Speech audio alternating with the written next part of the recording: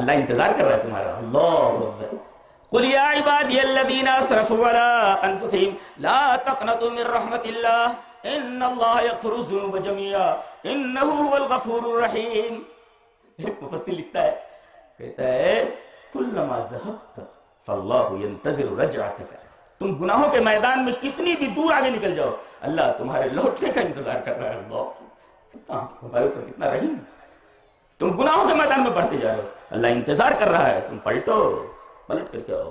फल्लाहु रजअतक अल्लाह तुम्हारे लौटने का इंतज़ार कर रहा है कि मेरा बंदा कब मेरी तरफ़ लौटता है। बहुत प्यार करता है हम लोगों से, बहुत प्यार करता है। एक नुकता बताऊँ? ये आयत जहाँ खत्म होती है, उसके बाद अनीबू है। अनीबू का मतलब होता है जाते जाते पलट जाना, रुजू करना। और एक मतलब ये भी है, ज़िंदगी के हर कदम पर देखो कि अल्लाह और उसका रसूल क्या कहता है। जी। मकफरत के बाद, वादे मकफरत के बाद, वादे बख्शिश के बाद, इनाबत का तस्करा लिजुनूब फ़ी इसराफ, फमनी कसद सहुला लेनाबा।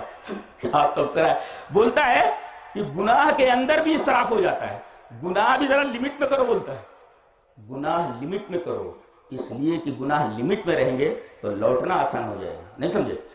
एक आदमी सर पर बोझ लिए हुए जा रहा है। बोझ हल्का है। बुकारा जायद। पलट जाता इसलिए बोझ हल्का है। बराबर? मुड़ना आसान है। लेकिन बोझ ज़्यादा लाद लिया है। जायद! मुड़ ही नहीं पा रहा ना? बोझ बहुत ज़्यादा है। तो गुनाहों को लिमिट में करो। आउट ऑफ़ लिमिट मत हो जाओ। गुनाह भी लिमिट में करो ताकि पलटना आसान हो जाए। हम लोगों ने तो इतने गुनाह कर लिए कि पलटना आसान नहीं है। तो लिहाजा, गुनाह में भी लिमिटेशन होना चाहिए। गुनाह भी जरा हो जाते हैं गुना। लेकिन लिमिट में करो, अनलिमिटेड मत करो ताकि इनाबत आसान हो जाए। अल्लाह। साबित क्या हुआ अब तक? हमें घबराना नहीं आयत करीमा देखो चारों तरफ़ मौत मडला रही है। दस हज़ार लश्कर जर्रा है सामने। तीन हज़ार बेचारे लड़ने वाले भूखे प्यासे। मोर्चे के ऊपर जमे हुए, कई वक्त की नमाजें चली गई। परेशान नहीं सब। ऐसी हालत में मौत सामने मौत नहीं, मौत नाच रही चारों तरफ़। मौत तांडव कर रही है, नाच रही है। ऐसे में मौत को देख करके सहाबा ने कहा अल अहजाब मौत को नाचते हुए देखा सामने। कहा, हादा मावादन अल्लाह व सदक अल्लाह व रसूलुहु। ये है जिसका अल्लाह और उसके रसूल ने हमसे वादा किया था और अल्लाह और उसके रसूल ने बिल्कुल सच कहा। अल्लाह ईमान तस्लीमा। मौत देख करके ईमान बढ़ गया। हम लोग देख करके थोड़ी सी परेशानी, एक गरोह बरसर इकतदार आ गया घबरा गए। यहाँ मौत चारों तरफ़ मडला रही है और ईमान बढ़ गया है। ये कुरान खत्म करने के लिए नहीं है, खत्म होता ही नहीं है। पढ़ो, किताब हिदायत है मौत देख करके ईमान में जाती है, ये कहते और अल्लाह ने फरमाया, मेरे नबी के सहाबा जानते हो? जिनको तुम सलफ कहते हो। कैसे थे? हमसे जो वादा कर लिया, उस वादे को सच कर दिखाया। रब ताला अगर बोल दे कि हमसे नबी के सहाबा ने वादा किया था और वादे को सच कर दिखाया, क्या बात है? मेरा ख्याल है कि सीरत सहाबा पर, अजमत सहाबा पर यही कायद काफ़ी है। कुछ और देखने की ज़रूरत नहीं है। अल्लाह ने फरमाया, जो वादा नबी के सहाबा ने हमसे किया था, वो वादा पूरा किया उन्होंने। कैसे? हो कुछ तो हम पर मर मिटे। अल्लाह जाने दे दी। उमिन कुछ इस इंतज़ार में है कि अल्लाह पर मरने का वक्त आ जाए तो मर जाए। बहु कुछ तो हमारे ऊपर मर मिटे। वमिन कुछ हमारे ऊपर मर मिटने के इंतज़ार में है। बदलू तब्दीला। और जो मौकफ इन्होंने मेरे वादे के बारे में इख्तियार किया, जर्रा बराबर एक इंच अपनी जगह से नहीं हटे। बदलू के बाद जो मसदर लाया गया वो ताकीद के लिए बदलू तब्दीला, एक इंच भी उनके मौकफ के अंदर तजलजुल नहीं आया, तजलजुल नहीं आया। ये है अल्लाह से वादा किया, कुछ तुम मिट गए अल्लाह के लिए, और कुछ मिटने के इंतज़ार में।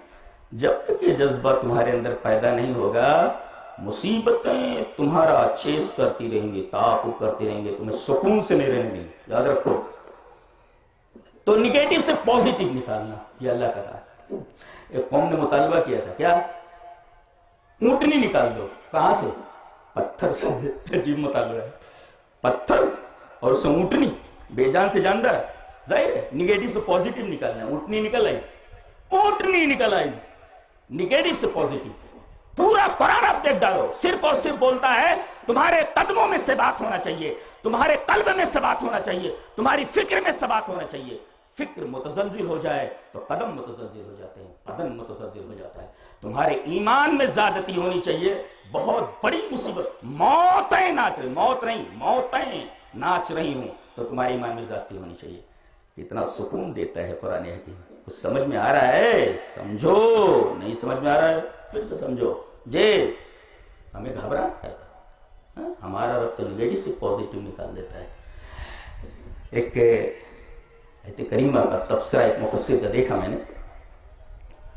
कहता है कि जब तुम्हें जब तुम्हें ऐसा लगे कि गमों के पहाड़ ने तुम्हें घेर लिया है, फकुल्लुल हमूमी, तमाम के तमाम गम, ततबद्दत तमाम गमों के बादल छट जाएँगे। अगर तुम गौर करो अरे सल्लाह काफ़ी नब्दा क्या अल्लाह अपने बंदे के लिए काफ़ी नहीं है? ए, क्या अल्लाह अपने बंदे के लिए काफ़ी नहीं है?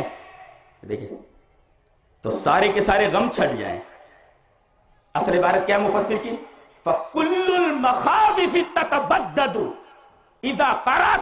अरे सल्लाह काफ़ी नब्दा अगर तुम चाहते हो कि अंदेशों और खौफ के बादल छट जाएँ तो ये आयत याद करो ये आयत पढ़ो। कौन सी? क्या अल्लाह अपने बंदे के लिए काफ़ी नहीं, चौबीस पारे सूर जुमर की आयत अरे सल्लाह भी काफ़ी नब्दा क्या अल्लाह अपने बंदे के लिए काफ़ी नहीं। और वो कुल्लुल अहलाम तचदद तचदद अगर तुम ये चाहते हो कि तुम्हारे ख्वाब रंगीन हो जाएँ, ख्वाबों में रंग भरना चाहते हो, अदीबाना अंदाज में कह सकते हो, फकुल वकुल्लुल अहलामी ततजद्दद। अगर चाहते हो कि तुम्हारे ख्वाब रंगीन हो जाए, ख्वाबों में रंग भरना चाहते हो तो याद देखो उदरूनी यस्तजिब लकुम। तुम मेरे मुझसे दुआ करो, मैं तुम्हारी दुआ कबूल करने के लिए तैयार हूँ। अल्लाह।